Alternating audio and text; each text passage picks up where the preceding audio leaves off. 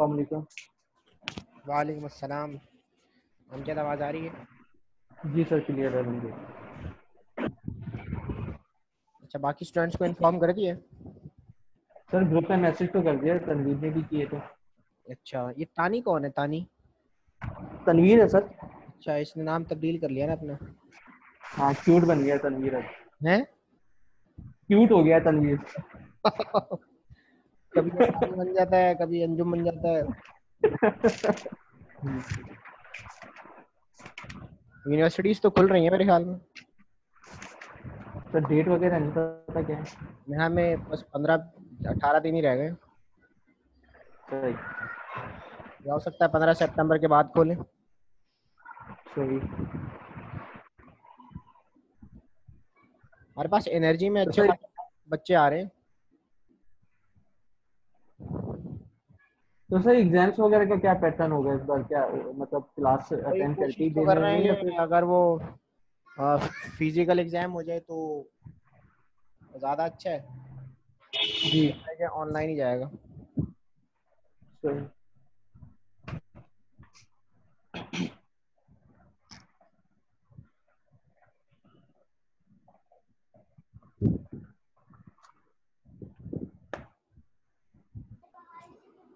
बाहर से कुंडी लगाओ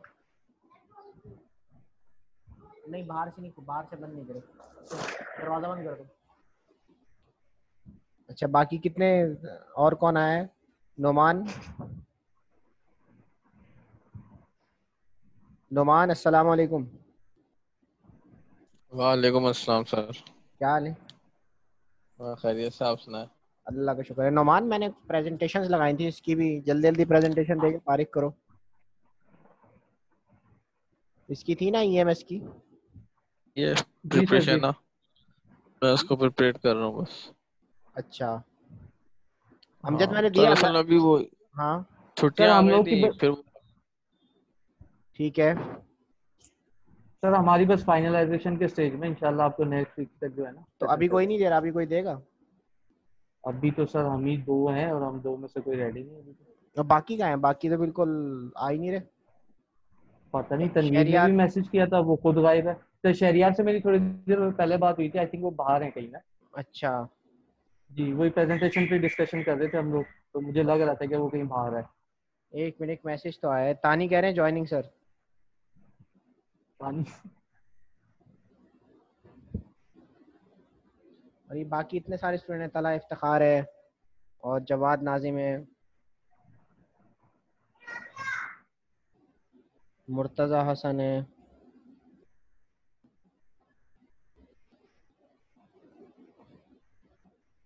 मोहम्मद अहमद का मैसेज तो आता है मोहम्मद अहमद आए नहीं आज। वो भी गायब हो गए वरना हर क्लास में होते हैं हाँ वो होता है अब्दुल हफीज एहसन खटक नुमान सद्दाम हसान फरीद मुर्तज़ा हसान कुरैशी। सुहेल हसान कुरैशी।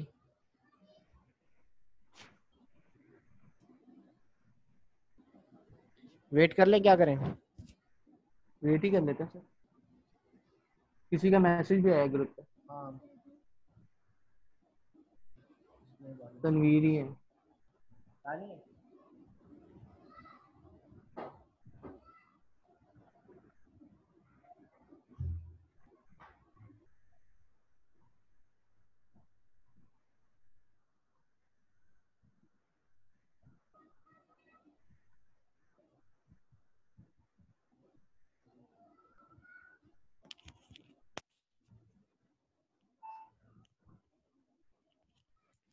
हेलो अस्सलाम वालेकुम तनवीर।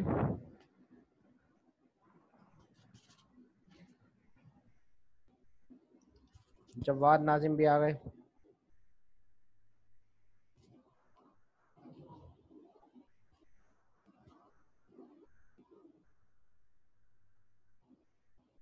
हेलो अस्सलाम वालेकुम। जवाद तनवीर।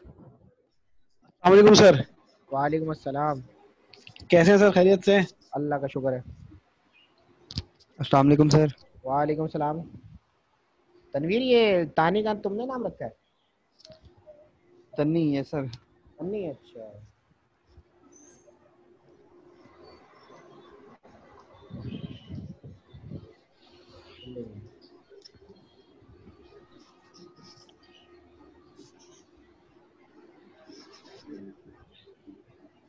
तनवीर क्या प्रोग्राम है आज का?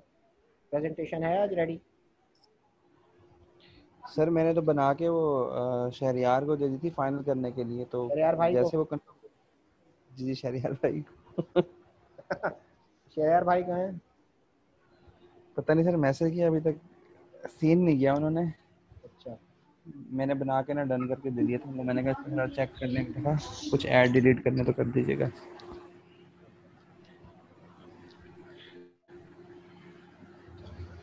सर मैं भी आया हूँ हम लोग गए हुए थे आज उधर सैंड स्पीड बीच गए हुए थे ऑफ़िस की टीम के साथ।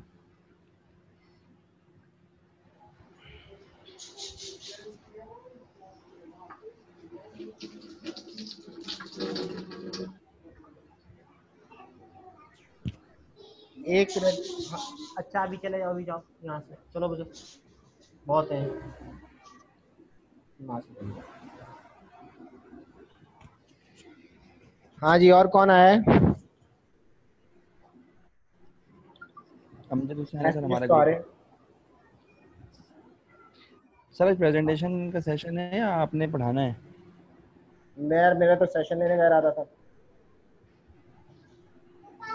सर सेशन करवा दें प्रेजेंटेशन फाइनल करके बता देते हैं। अभी तो एच की भी रहती तो है। इंटीग्रेटेड मैनेजमेंट सिस्टम पढ़ लेते हैं।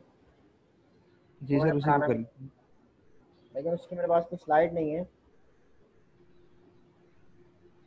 क्या हुआ ये? लाइव है अच्छा तो एच में है। अच्छा इसमें जो इंटीग्रेटेड मैनेजमेंट सिस्टम है। जी सर। ईएमएस तो पढ़ लिया होगा। मैं इसको EMS शेयर पढ़ कर देता है। हूँ। ई एन एम एस भी पढ़ लिया है।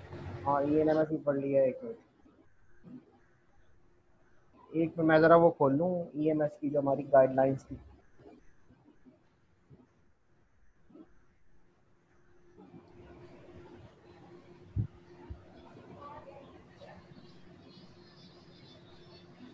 आईएसओ का स्टैंडर्ड शेयर कर रहा हूँ।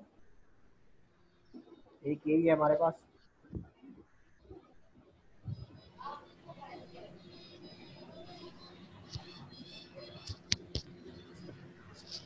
ठीक है नज़र आ रहा होगा आपको ये? जी सर इसमें यहाँ तक तो हमने पढ़ लिया था ईएमएस क्या होता है conformity legal requirements competency documents checking Definition. ये सारा कुछ आपने पढ़ लिया है तकरीबन इसमें जो आखिरी का जो रह गया है वो अच्छा लीगल रिक्वायरमेंट्स के बारे में लास्ट टाइम बताया था मैंने शहरी ये सॉरी तनवीर? जी सर। लीगल रिक्वायरमेंट्स में या अदर रिक्वायरमेंट्स में क्या क्या रिक्वायरमेंट आएँगी? इन्वायरमेंट के हवाले से?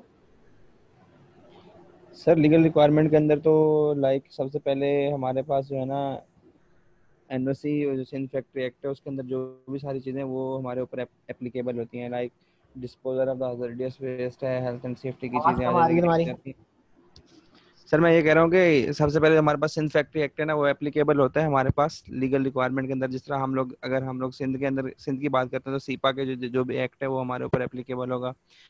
देन हमारे पास जो इन्वायरमेंट की टेस्टिंग है वो एप्लीकेबल होगी। हजार्डियस वेस्ट का डिस्पोजल वो हमारे पास होगा। अगर आपकी इंडस्ट्री जो है टेक्सटाइल से रेलिवेंट है, कोई भी अगर वेस्ट वाटर जनरेशन है तो वेस्ट वाटर से रेलिवेंट जितनी भी सारी चीज़ें आपने उनके स्टैंडर्ड्स को मीट करना है। जिस तरह एस के हैं जेड के हैं, वो सारी चीज़ें मीट करनी होगी। ठीक है। जो आपकी जी sir? ZHSC Z D S C zero discharge of hazardous हाँ ZDHC Z D H C zero discharge of hazardous chemical hmm. हो इस- सकता है कंपाउंड भी हो सकता है। एग्जैक्टली exactly, तो ये हो गया उसके बाद एयर एयर क्वालिटी के हवाले से हमारे जितने भी एस की लिमिट्स हैं हम लोग उनको जो है ना इन कंप्लायंस जो है ना करके हमने इन चीज़ों को इम्प्लीमेंट करवाना होता है और इनकी जो रिपोर्ट्स होती हैं क्वार्टरली बेसिस पे हम लोगों ने सीपा के अंदर यही रिक्वायरमेंट्स होती हैं तो हमने डिस्कस की थी लास्ट टाइम इसके अलावा और क्या रिक्वायरमेंट्स होती हैं? लीगल एंड अदर रिक्वायरमेंट्स के अंदर वो यही पेज मैंने खोला हुआ है। इसमें आपको इंटरनेशनल इंटरनेशनल लीगल रिक्वायरमेंट्स हैं। सर अदर के अंदर तो जो है ना हाँ अदर के अंदर क्या आएगा? अदर के अंदर जो है ना वो जिस तरह कारपोरेट सेक्टर की या कारपोरेट रिक्वायरमेंट्स की हम लोगों ने बात की थी कि इंडस्ट्री स्पेसिफिक हो सकती हैं कस्टमर की अपनी कुछ रिक्वायरमेंट्स होते हो सकती हैं लाइक कि जिस तरह अगर हम लोग बात करते हैं कुछ ब्रांड्स हैं जो कि एच एन एम है या लिवाइस वगैरह ये लोग कहते हैं कि भाई आपने वेस्ट वाटर के हवाले से जेड डी एच सी की जो है ना गाइडलाइंस को मीट करना है। Like B O D thirty milligram पर लीटर हो सी ओ डी आपका एटी एटी पे होना चाहिए। सॉरी बी ओ आपका एटी होना चाहिए और सी ओ डी जो है ना वन फिफ्टी होना चाहिए। तो इस तरह जो है ना 150 हाँ जो भी है 150 है 250 है मेरे ख्याल में। एग्जैक्टली exactly, तो ये आ जाएगा आपकी कस्टमर स्पेसिफिक रिक्वायरमेंट आ जाएँगी तो इसको हम लोग कस्टमर से रिलेट कर सकते हैं। इसी तरह अगर आपने अपनी इंडस्ट्रीज़ को जो है ना वो रन करना है तो आपने डिफरेंट जैसा कार्टी है प्रेगमा है के आई है उसके अलावा बिल्डिंग स्टेबिलिटी सर्टिफिकेट ये सारी चीज़ें भी आपको कंप्लाई करना पड़ती हैं ये भी आप कह सकते हैं कि कस्टमर स्पेसिफिक रिक्वायरमेंट्स भी हो सकती हैं और लीगल के अंदर भी ये चीज़ें फॉलो करती हैं। इस तरह जनरेटर जनरेटर्स वगैरह हैं बॉयलर्स वगैरह हैं उनकी जो इंस्टॉलेशन है उनकी इंस्पेक्शन है उसके सर्टिफिकेट भी आपको चाहिए होंगे। तो ये भी। एक लीगल रिक्वायरमेंट होती है। ठीक है। अच्छा अब मैंने ना आखिरी पेज पेजेस पे आया हूँ बिल्कुल। अ, आपको नज़र आ रहा होगा correspondence between I S O fourteen thousand I S O nine thousand one ji sir सबको नज़र आ रहा है? जवाद नोमान? सर अच्छा अगर मैं आपको सिर्फ़ ये बता दूँ कि इंटीग्रेटेड मैनेजमेंट सिस्टम वो मैनेजमेंट सिस्टम होता है जिसके अंदर हम दो या दो से ज़्यादा जो है वो सिस्टम्स को इंटीग्रेट करके रन कर रहे होते हैं। अब यहाँ पे इन्होंने एग्जांपल दी है correspondence between I O fourteen thousand one and nine thousand one यानी क्यू एम एस और ई एम एस के दौरान दरमियान। अच्छा हमारा नॉर्मली ज़्यादातर काम होता है एच एस सी पे हेल्थ सेफ्टी इन्वायरमेंट में। तो सर आपकी आवाज़ बहुत कट रही है। अब सही है आ रही है? Hello hello. आ रही है। आ रही है सर। अच्छा। नोमान किसकी आवाज़ किसको नहीं आ रही आवाज़ मेरी? सर मुझे आ रही है लेकिन बहुत कभी कट जाती है दो चार पाँच सेकंड के लिए फिर आना शुरू हो जाती है। हमारा इंटरनेट अच्छा नहीं होगा ना? पता नहीं आ तो वन एम बी रहा है पता नहीं। अच्छा। अच्छा अ, मेरा बताने का मकसद ये है कि यहाँ पे हम कंपेयर कर रहे हैं इंटीग्रेटेड मैनेजमेंट सिस्टम यानी दो मैनेजमेंट सिस्टम इक्वली पैरेलली कैसे रन होते हैं। तो इंटीग्रेट इंटीग्रेट का मतलब ये होता है कि आप एक दूसरे को एक के अंदर मर्ज कर दें इंटीग्रेशन कर दें इंटीग्रेट कर देना। फ़र्ज़ किया लोहा है। लोहे का इंटीग्रेटेड क्या होता है? एक एलॉय है एलॉय तो स्टील इज़ एलॉय स्टील को हम एलॉय कहते हैं because it is the integrate integration of two metals दो मेटल्स को मिला के एक शक्ल बनाती खूबसूरत सी। इसी तरह अगर हम बाज़ अवत आप आप देखते हैं कि भाई आप कोई वॉलेट खरीदने जाते हैं या जूता शूज़ खरीदने जाते हैं तो आप, आपको ना शूज़ ऐसा मिलता है जो कि रेगजीन और चमड़े का मिक्सचर होता है। मतलब वो भी एक किस्म का इंटीग्रेट इंटीग्रेट हो जाता है। तो इसी तरह दो या दो से ज़्यादा मैनेजमेंट सिस्टम को अगर आपने एक कंपनी में इम्प्लीमेंट करना है तो बजाय उसको आप अलग अलग लेके चले तो कंपनीज़ क्या करती हैं, उसको इंटीग्रेट कर देती हैं। तो इस वजह से आईएसओ के जो स्टैंडर्ड्स हैं, ये इतने कंपेटिबल है कि एक दूसरे के अंदर इंटीग्रेट यानी मर्ज हो जाते हैं। एक दूसरे के अंदर साथ रह के काम करते हैं। इस वजह से कंपनीज़ का खर्चा भी बचता है और कंपनीज़ एक बंदे से दो दो या तीन तीन काम ले रही होती है। जैसे मेरा डालडा डालडा फूड्स है, वहाँ के एच एस सी मैनेजर से मेरी जान पहचान है, ठीक है? वो अब क्यू एच एस सी को लेके चल रहे हैं। यानी क्वालिटी भी उनके पास है हेल्थ सेफ्टी भी उनके पास है और इन्वायरमेंट भी उनके पास है। तो पूरा क्यू एच एस सी उनके पास है। इसी तरह तनवीर को अगर लिया जाए तनवीर में आप एच एस सी के अंदर है या क्यू एच एस सी के अंदर है?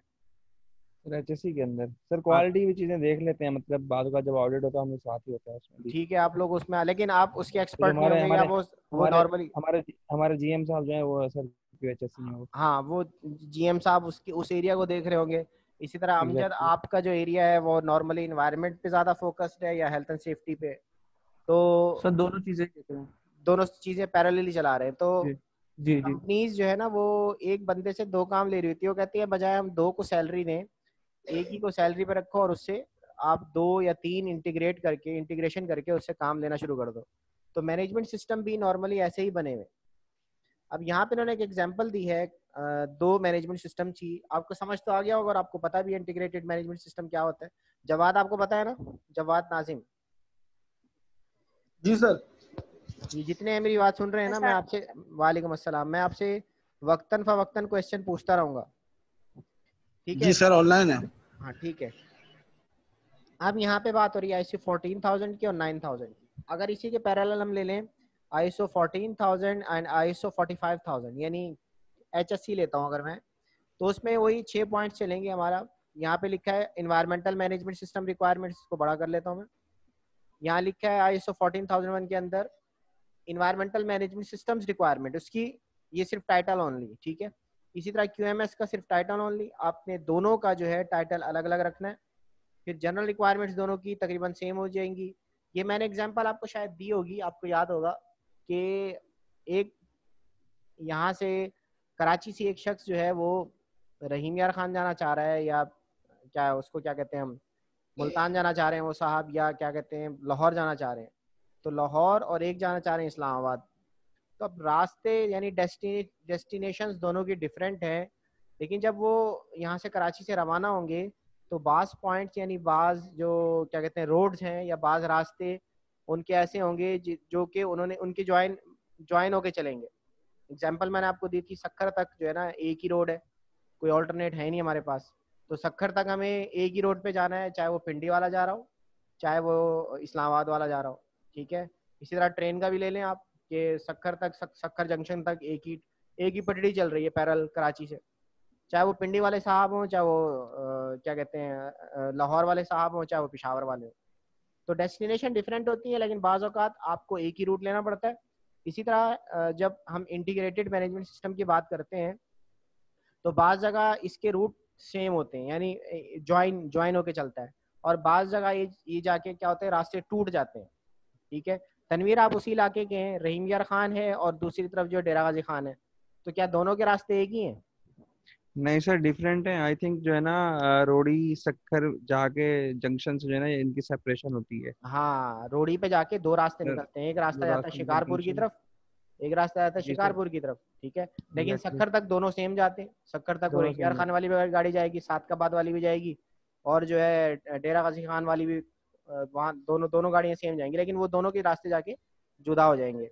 तो बहरहाल कहने का मकसद ये है यहाँ पे जनरल रिक्वायरमेंट्स यानी जनरल रिक्वायरमेंट्स दोनों में सेम आ गया, ठीक है? बाज़ जगह ये एक पॉइंट सेम होगा, बाज़ जगह पॉइंट डिफरेंट हो जाएँगे, ठीक है? इन्वायरमेंटल पॉलिसी पॉलिसी दोनों की अलग अलग बनेगी क्वालिटी पॉलिसी अलग होगी, ठीक है? एनवायरमेंटल पॉलिसी अलग होगी। बाज़ अवत ये दोनों एक ही डॉक्यूमेंटेशन के अंदर आ जाती है, यानी एक ही स्टेटमेंट के अंदर आ जाती है।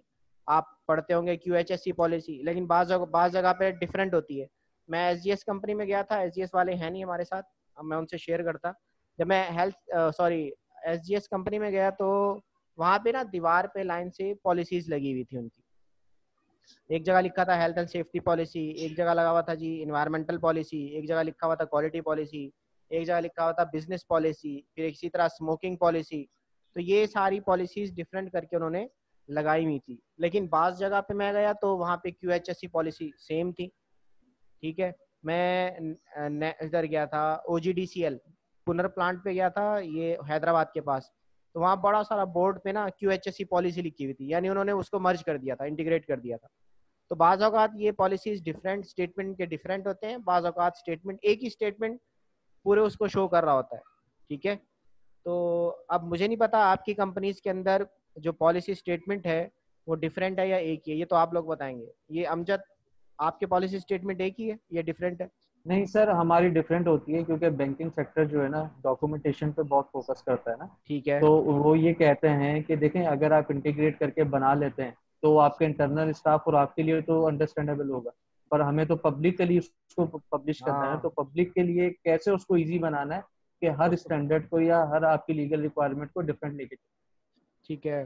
तो इस वजह से उसको उसको डिफरेंट रखते हैं। जी बिल्कुल हर हर पॉलिसी एक अलग होती है।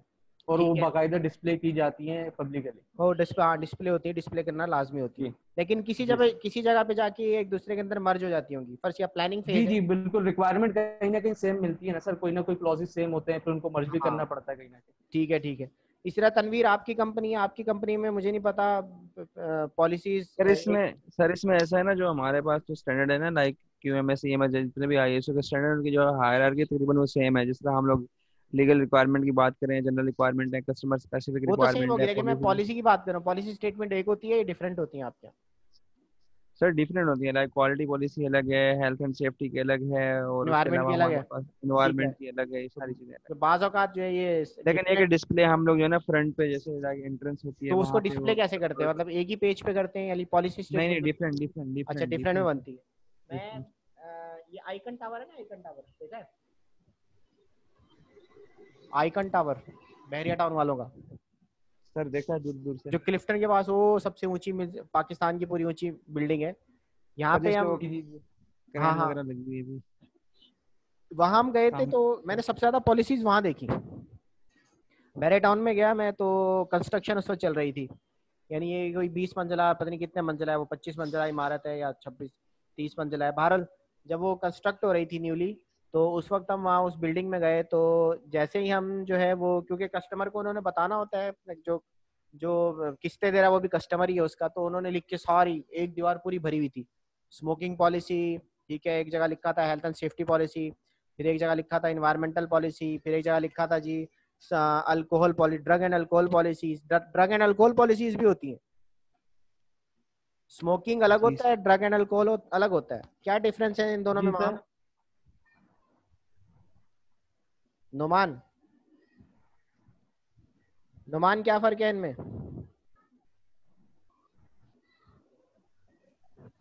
नुमान तो गायब हो गए। अच्छा जवाद आप बताइए जरा। सर अल्कोहल और सर ड्रग्स तो बेसिकली वो जो कुछ ड्रग्स होती हैं जो आपको डॉक्टर्स वगैरह आपको असाइन करते हैं आप लेते हैं वो उस, उस ड्रग्स के बारे में भी होता है। कि आपको वो इन्फॉर्म करना होता है अपने मैनेजर्स को कि मैं ये मेडिसिन ले रहा हूँ। ठीक है गुड ये पॉलिसी का हिस्सा होता जो है। आपके वर्क के वर्क की ये पॉलिसी का हिस्सा होता है ये पॉलिसी का हिस्सा होता है गुड आप जो है वो सर ये बेसिकली सिस्टम को अपने सिस्टम या अपनी वर्किंग को ना ट्रांसपेरेंट करने के लिए चीज़ें डिस्प्ले करते हैं कि भाई हम आपके साथ सिंसियर हैं और इन इन चीज़ों पे सही। काम करते हैं।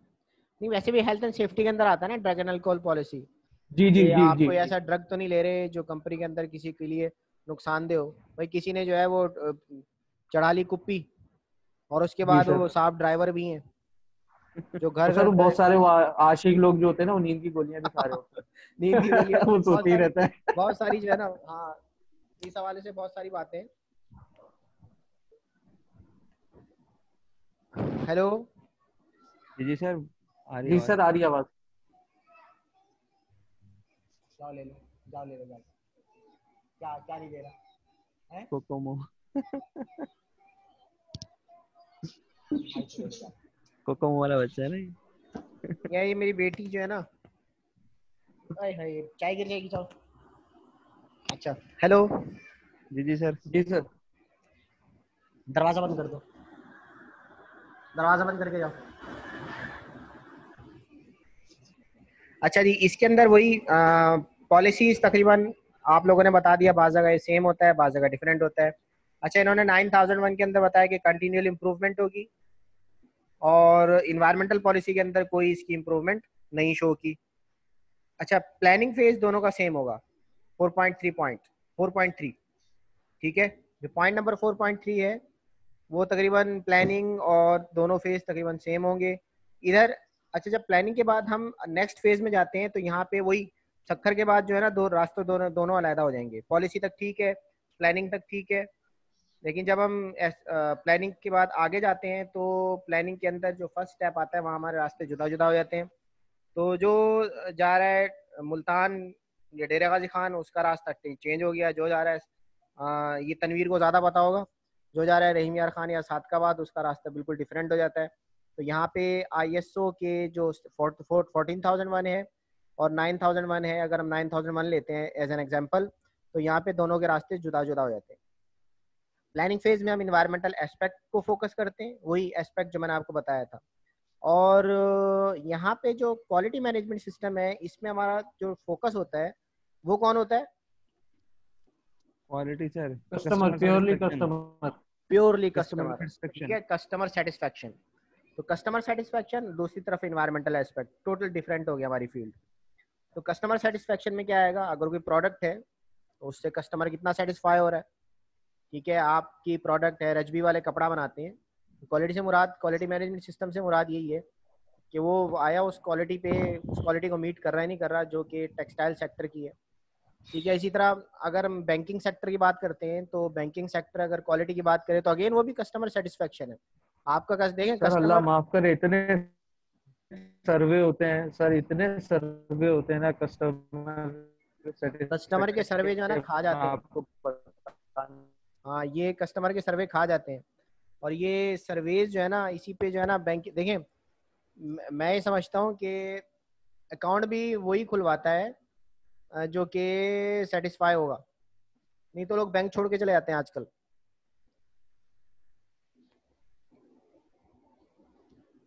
हेलो जी जी सर बोले। अलैक्म सर। वालेकुम अस्सलाम शहरियार क्या हाल है? अल्लाह का शुक्र आप बताएँ। अल्लाह का शुक्र यार। अच्छा हम इंटीग्रेटेड मैनेजमेंट सिस्टम के बारे में बात कर रहे थे तो एक मैंने खोला हुआ है क्वालिटी मैनेजमेंट सिस्टम और इन्वायरमेंटल मैनेजमेंट सिस्टम इन दोनों के दरमियान फ़र्क क्या है और ये दोनों इंटीग्रेटेडली कैसे काम करते हैं ठीक है?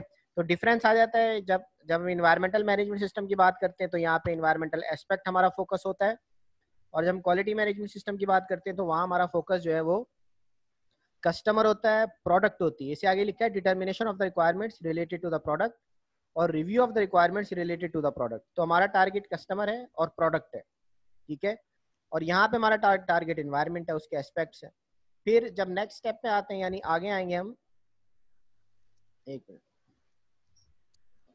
अच्छा फिर इसमें जब लीगल एंड अदर रिक्वायरमेंट्स में आ जाते हैं अच्छा एस्पेक्ट्स के बाद क्योंकि हम जब एस्पेक्ट फाइंड आउट करते हैं मैंने आपको ईएमएस के अंदर पढ़ाया था कि एस्पेक्ट्स की आइडेंटिफिकेशन के बाद हम उसकी लीगल रिक्वायरमेंट्स जो है फाइंड आउट करते हैं। फ़र्ज़ किया एक कंपनी है जो कि लेदर लेदर का काम कर रही है तो लेदर से रिलेटेड उसकी इन्वायरमेंट की लीगल रिक्वायरमेंट्स क्या है हम वो पढ़ेंगे।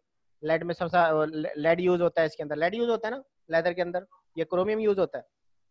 Sir chromium chromium chromium six valency के साथ है ना? क्रोमियम यूज़ होता है। उसकी टैनिंग के लिए। ट्रेनिंग के लिए यूज़ होता है। तो जब मैं एमएससी में था तब मैंने विज़िट किया था CETP combined effluent treatment plant जब था अब तो मेरे ख्याल में बंद हो गया वो खत्म हो गया कोरंगी के अंदर। सर ब्राय नाम ही है। बस वो बराए नाम है। अच्छा उस वक्त तो खैर वो फंक्शनल था काफ़ी इंडस्ट्री तो वो नॉर्मली टेनरी इंडस्ट्री ने ही लगाया था जो चमड़े वाली इंडस्ट्रीज़ थी। और तो जब हम ईएमएस की बात करेंगे तो उसके अंदर लीगल रिक्वायरमेंट्स आ जाएँगी उसकी। और अगर हम बात करेंगे इसकी रिक्वायरमेंट की 9001 की तो उसके अंदर हमारा कस्टमर फोकस आ जाएगा अगेन फिर जब हम ये सारी चीज़ें निकाल लेते हैं, फिर हम अपने objective targets and program set करते हैं, और यही चीज़ जो है क्यूएमएस के अंदर भी होती है, यानी क्वालिटी ऑब्जेक्टिव उसकी प्लानिंग और उसकी इम्प्रूवमेंट ठीक है, फिर नेक्स्ट स्टेप में आ जाएगा हमारा अच्छा यहाँ पे थोड़ा सा डिफरेंट है. इम्प्लीमेंटेशन एंड ऑपरेशन और यहाँ पे है प्रोडक्ट रियलाइजेशन क्या फ़र्क है इन दोनों में? कौन बताएगा? Implementation operation Amjad? सर ये उसमें ना ईएमएस में हम लोग टारगेट और ऑब्जेक्टिव सेट करते हैं उसकी बात हो रही है यहाँ पे कि जो। ऑपरेशन है क्या- आपके उस तरह काम कर रहे हैं रिगार्डिंग इम्प्लीमेंटेशन आप यानी आपने जो और टारगेट और टारगेट सेट किए हैं उसकी कैसे इम्प्लीमेंटेशन होगी?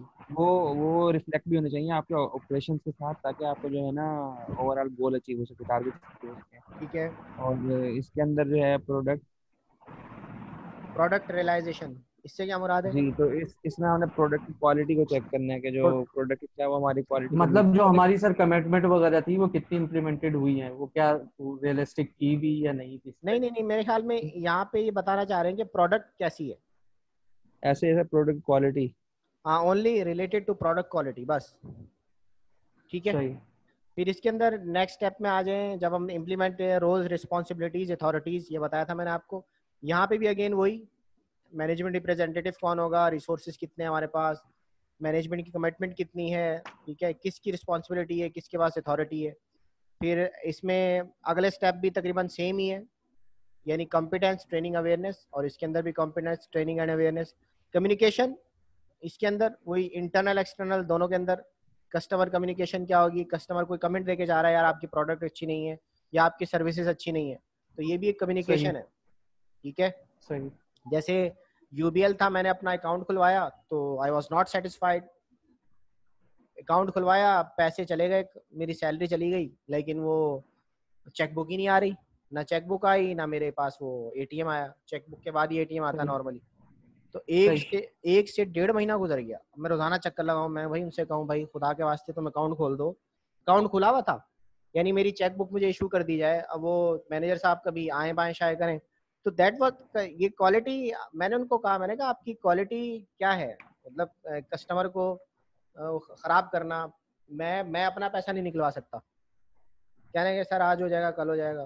फिर एक दिन मैंने उनको थोड़ी सी तबीयत से सुनाई तब जाके जो है वो मेरा मतलब प्रोसेसिंग हुई।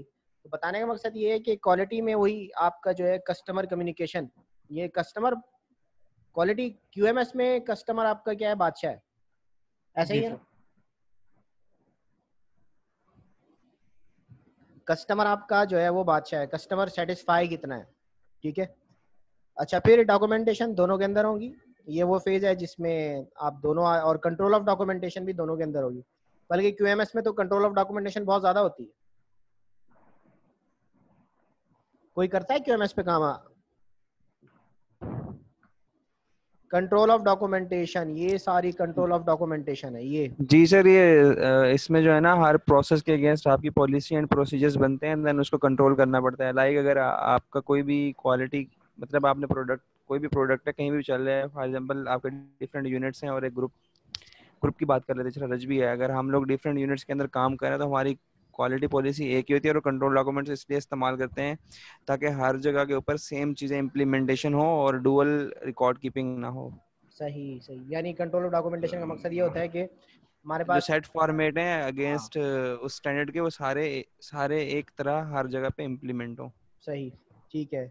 और कंट्रोल ऑफ़ डॉक्यूमेंटेशन से ही भी पता चल जाता है कि हमें कौन सा डॉक्यूमेंट किसी वक्त हमें चाहिए तो फ़ौरन वो अवेलेबल भी हो जाता है। वो भी वो जो ऑब्सलीट डॉक्यूमेंट होते हैं इसको रिव्यू करने में जो है ना जिस तरह हमारी रिक्वायरमेंट्स क्वालिटी की बात कर लेते हैं डिफरेंट आती हैं स्टैंडर्ड रिवाइज होता है तो हमें जो है ना हेल्प आउट हो जाता है इसको रिवाइज करने में और हम लोग जो है ना इसको अपडेट भी करते हैं। ट्रेसिबिलिटी एलिमेंट भी कह सकते हैं इसको आपके ट्रेसिबिलिटी होती है हमारी सही। फिर इसके बाद नेक्स्ट स्टेप जो है वो ऑपरेशन कंट्रोल है इसके अंदर इसके अंदर प्रोडक्ट रियलाइजेशन है। अब प्रोडक्ट रियलाइजेशन के अंदर ये पूरा planning inputs output review verification validation changes process information purchase product कितना है सर्विस प्रोविज़न कितनी है उसकी, फिर प्रिजर्वेशन ऑफ़ प्रोडक्ट क्या है, फिर इसके अंदर हमारे पास इमरजेंसी प्रिपेयर्डनेस रिस्पॉन्स आ जाता है। अच्छा क्यू क्वालिटी जो है इन्वायरमेंटल हेल्थ एंड सेफ्टी से थोड़ा सा हटके है। इन्वायरमेंटल हेल्थ एंड सेफ्टी कहीं ना कहीं बहुत ज़्यादा एक दूसरे को ज्वाइन कर रहा होता है। लेकिन क्वालिटी थोड़ा सा हटके हो जाती है। जैसे यहाँ पे इमरजेंसी प्रिपेयर्डनेस एंड रिस्पॉन्स तो इमरजेंसी प्रिपेयर्डनेस एंड रिस्पॉन्स ये जो है आपको हेल्थ एंड सेफ्टी में भी मिलेगा, ये आपको इन्वायरमेंट में भी मिलेगा, लेकिन ये आपको क्वालिटी में नहीं मिलेगा, क्योंकि वहाँ कोई इमरजेंसी है ही नहीं। ठीक है, ये हो गया। फिर मॉनिटरिंग एंड मेज़रमेंट इसमें भी आप मॉनिटर मेजर करते हैं। ये भी पॉइंट सेम हो गया। Control of records internal audit management review तो सारी बातें इसके अंदर लिखी हुई हैं। तो ये मेरा मेरे ख्याल में ख़त्म हो रहा है इंटीग्रेटेड मैनेजमेंट सिस्टम टाइम भी मेरे पास ख़त्म हो रहा है। बस ये एक छोटा सा मैंने आपको ई एम एस करा दिया है। इस स्टैंडर्ड को आप लोग देख लीजिएगा। और बाकी जो अब आपके ऊपर है कि आप लोगों ने प्रेजेंटेशन कब से कंप्लीट करनी है। अच्छा इसमें मैं आपसे पूछ लेता हूँ कौन कौन से पार्टिसिपेंट्स हैं। अमजद आपका ग्रुप किसके साथ है? सर सर, मैं- तनवीर हसन फरीद।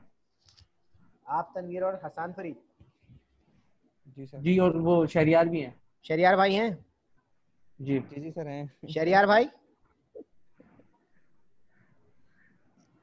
अच्छा साइलेंट तो पे बोला। शरियार भाई। अच्छा बाकी सर। अच्छा एक ग्रुप ये हो गया तो फ़र्स्ट प्रेजेंटेशन फिर आपसे स्टार्ट करें हम लोग। सर कल या परसों में ले लें इंशाल्लाह। चलें ठीक है इंशाल्लाह कल या परसों में हम आपकी प्रेजेंटेशन ले लेते हैं। इसको वाइंड अप करें।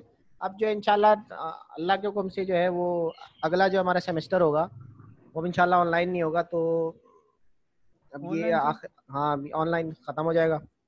अच्छा फिर ये जवाद नाजिम महामती नोमान ये ये किस ग्रुप में? सर मैं और नुमान है। अच्छा तो आप कब देंगे प्रेजेंटेशन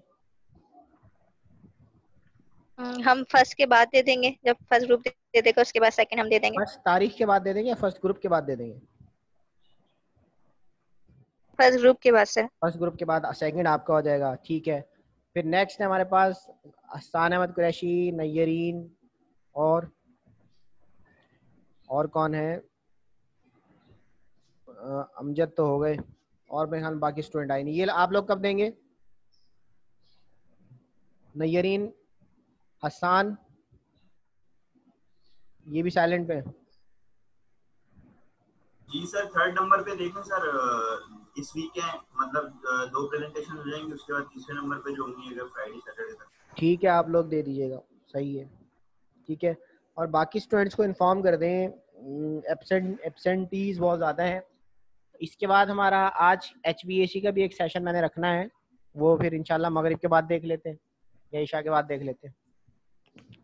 सर मगरिब के बाद सही है। सर मगरिब के बाद सही है। मगरिब के बाद? जी सर मगरिब की नमाज़ के फ़ौरन बाद। अच्छा ठीक है।